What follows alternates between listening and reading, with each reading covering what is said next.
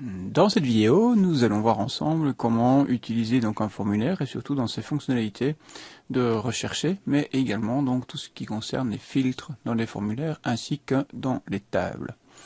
Alors, je vous propose d'ouvrir le formulaire que nous avions créé précédemment, qui s'appelle donc F membre. Donc un double clic et vous l'ouvrez. Vous avez ici donc les différents formulaires. Alors, dans un premier temps, on va essayer de retrouver des informations sur, par exemple, un membre qui s'appelle Karen. Alors, donc on va utiliser donc la fonctionnalité donc rechercher ici en dessous et on peut simplement donc venir écrire donc Karen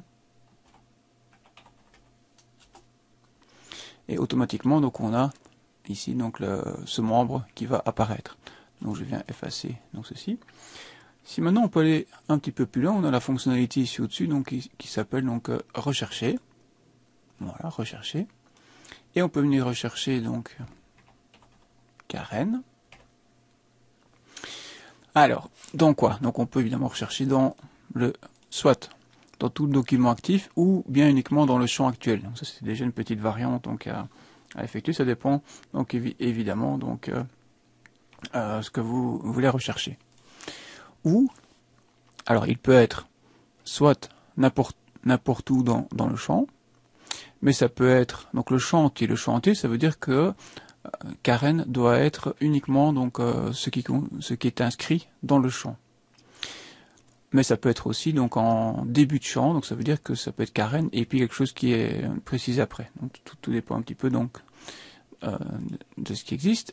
Et dans le sens, donc on peut aller soit partout, donc en haut, en bas, ça veut dire qu'on va, comme nous sommes dans l'enregistrement 4, on peut aller au 5, 6, c'est ça que ça signifie en allant par le bas, ou par le haut, ça veut dire qu'on va revenir en arrière. Voilà, donc ça dépend un petit peu donc euh, ce qu'il en est.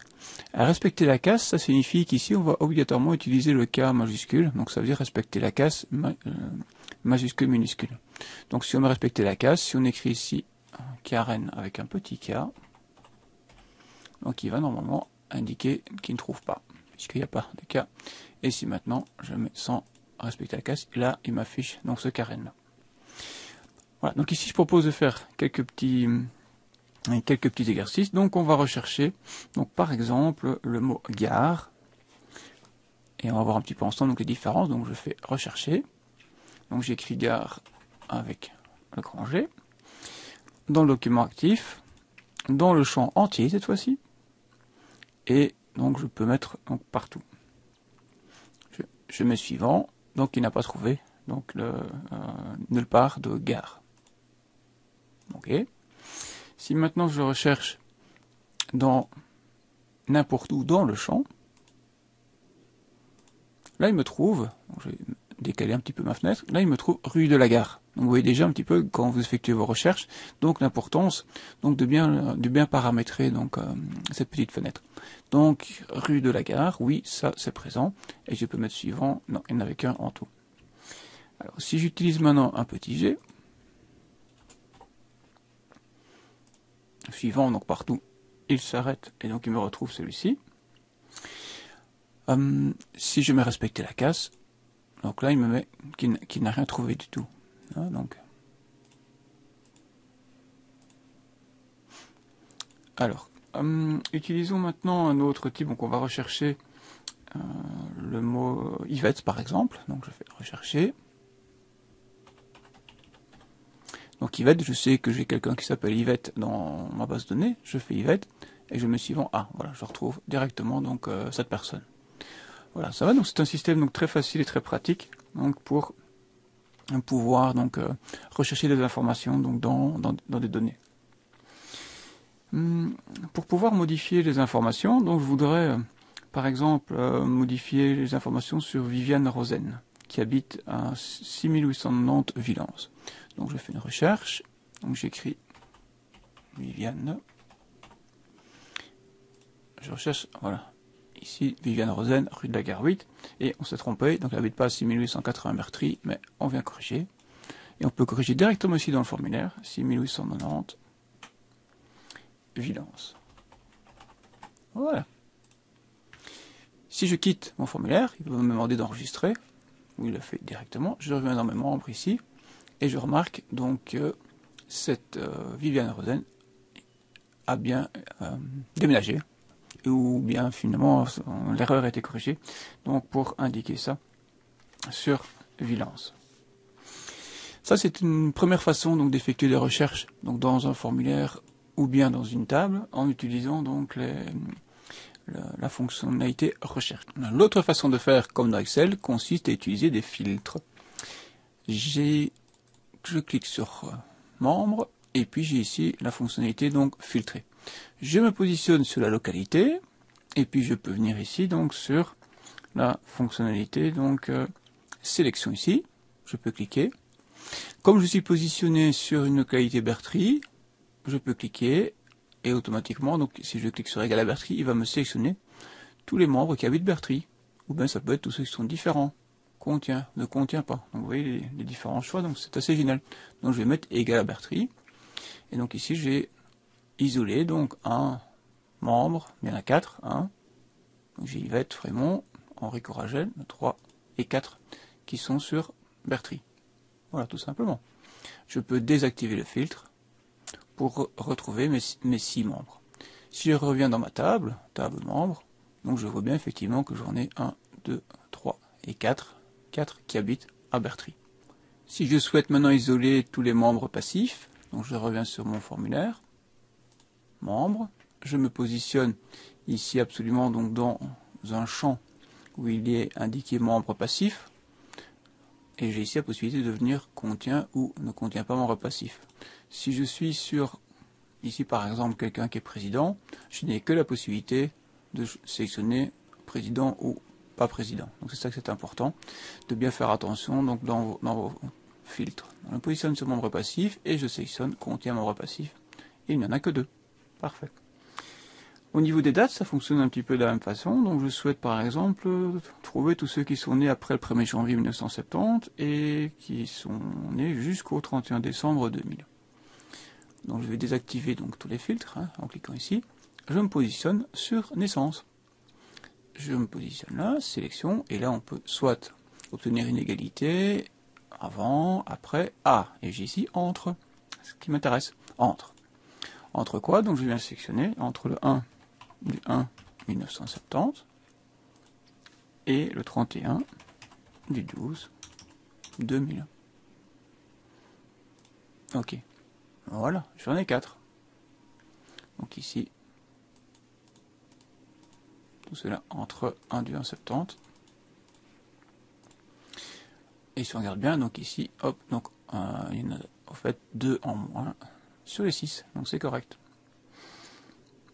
Alors, au niveau date d'inscription, donc je désactive les filtres, n'oubliez pas, je reviens ici sur inscription, tous ceux qui sont inscrits à partir du 1er janvier 2015. Donc sélection, donc après, 1er janvier 2015. Donc si j'en ai à nouveau 4, je peux vérifier dans les membres. Donc la date d'inscription, 1er janvier 2015, on est 1, 2, 3 et 4 également. Voilà. Alors, ici ce qu'il est possible de faire, donc hormis ces fameux filtres donc, euh, classiques, on peut utiliser des filtres par formulaire, tout, au-dessus. Donc un filtre par formulaire, donc c'est intéressant parce qu'il n'est pas besoin justement d'indiquer tous ces critères. Donc on souhaite par exemple ici afficher donc uniquement les membres qui habitent à Villance.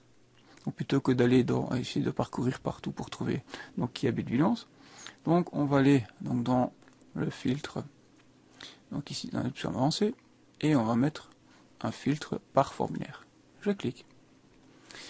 Alors ici, il a conservé euh, mon formulaire précédent qui était le 1 du 1 2015, donc je viens m'assurer l'effacer. Et je viens simplement ici indiquer comme localité, donc soit j'écris Villance, hein, donc vous pouvez très bien, voilà. Mais vous avez aussi donc la possibilité ici de rechercher, qui vous sélectionne donc tout ce qui existe comme possibilité. Donc je vais choisir Villance, voilà. Et puis donc comme ça je peux donc lancer la fonctionnalité donc de violence dans rechercher et activer ou désactiver le filtre.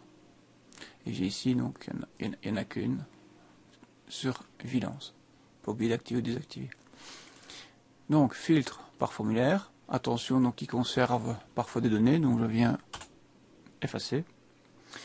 Alors, je souhaite, par exemple, euh, donc tous ceux qui ont comme critère euh, et membre passif.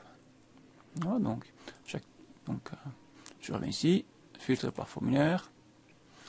Donc tous ceux de Bertry, voilà, et qui sont ici. Euh, donc ici, je dois venir écrire membre passif. Membre passif. Voilà. Et je viens activer. Donc j'ai une personne, voilà, une seule personne. Donc je viens de checker, donc dans la table membre ici au-dessus. Donc de Bertry, est trésorière, de Bertry est président, de Bertry membre passif et de Bertry membre actif. Voilà, donc ça fonctionne bien. Donc ce système de filtre par formulaire est vraiment très, très intéressant et, très efficace lorsque vous ne devez pas parcourir donc l'ensemble de vos données. Donc je reviens sur le membre, je désactive tous les filtres dans les options avancées aussi comme ça, delete comme ça on est sûr de ne rien, de ne rien conserver. Voilà. Et comme ça je reviens ici.